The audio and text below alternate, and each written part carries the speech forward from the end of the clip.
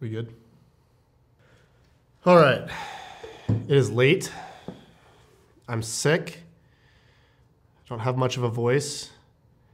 And I'm really, really upset about this new ridiculous playoff policy that Rob Manfred has suggested or proposed or leaked. I don't even know how it got on the internet. I don't know why it would even get on the internet. It's that ridiculous. Like just reading through it without even thinking about it for a second, they're just wrong.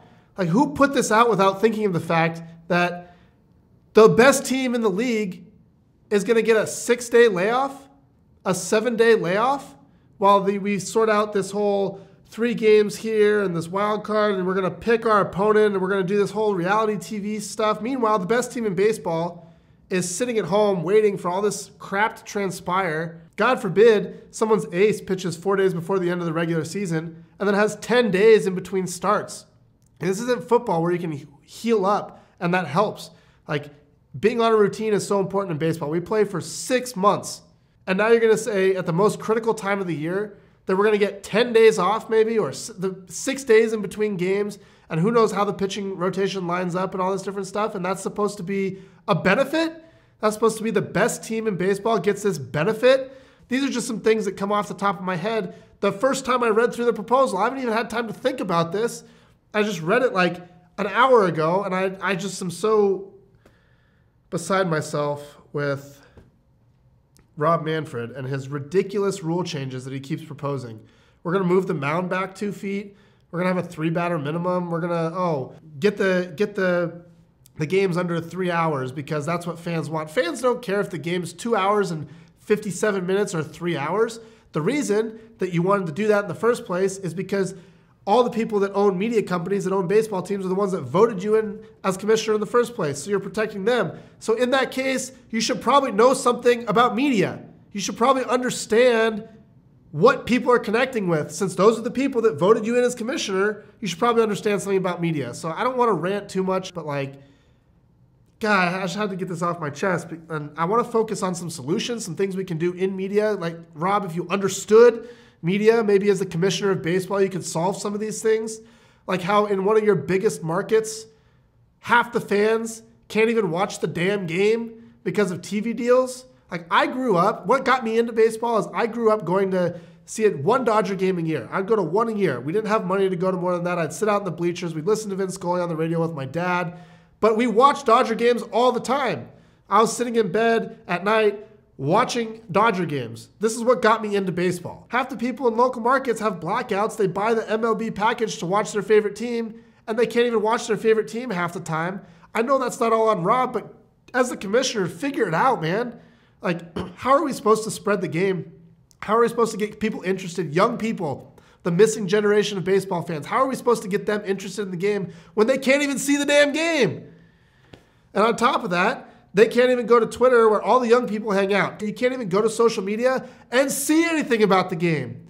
Steph Curry throws a bounce pass in an NBA game and it, it's trending with 1.5 million views five minutes later. And Mike Trout goes and launches himself and robs a homer or something, and you can't find the highlight anywhere online. It's ridiculous. You got BAM, that baseball advanced media that was designed to just centralize all MLB content and force people to pay to have access to it. Great, you made a lot of money up front, but you centralize all this content, you make people pay for it and you know what you get? You get a missing generation of fans. You make some money up front, great, and you miss a generation of fans, and the, the game is losing popularity, and especially amongst young people. I mean, let's not even talk about like the shoes, the cleats. Oh, hey, Mike Clevinger, you can't wear those shoes that are colorful that everybody on Twitter likes because it violates our stupid cleat policy where you get three colors of cleats. Like, I mean, what does it even matter? Just let the players express themselves.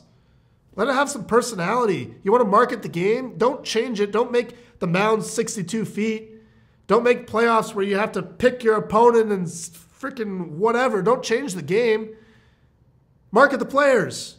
You have more players in baseball than any other league with much more diverse backgrounds worldwide, more so than any of the other major American sports. And it's the least marketable It's because you make stupid decisions about how you market the players. You don't open it up. Let content go. Get it out there.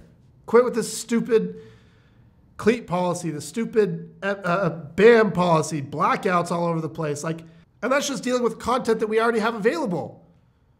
Like, where's the innovation in content? Like, where, where's the next thing that's that's going to draw fans in?